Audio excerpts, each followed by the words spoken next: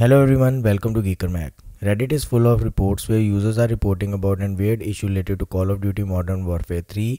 What actually happens is whenever they try to launch the game, they are seeing an error message that reads, the application has unexpectedly stopped working with error code 0x00001388N. Users are clueless about what triggered this error message and angry because they are unable to play the game due to these annoying crashes on startup and if you landed on this video then it's possible that you are one out of them for sure.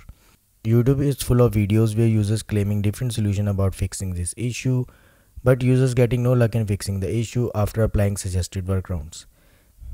In this video I'm going to share a quick workaround that is shared by one user on Reddit and after checking the comment it seems like majority of users managed to fix this issue.